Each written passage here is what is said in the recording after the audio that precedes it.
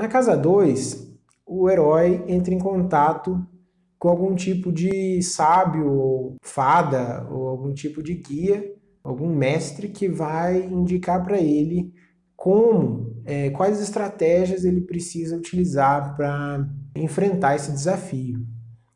Então, a partir desse encontro, ele sai dali com mais consciência e mais conhecimento sobre como ele de fato pode vencer o desafio, como se enfrenta um dragão, um vampiro, um lobisomem.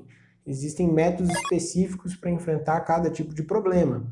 E a partir desse encontro, ele sai em busca desses é, métodos e artefatos para a resolução desse problema.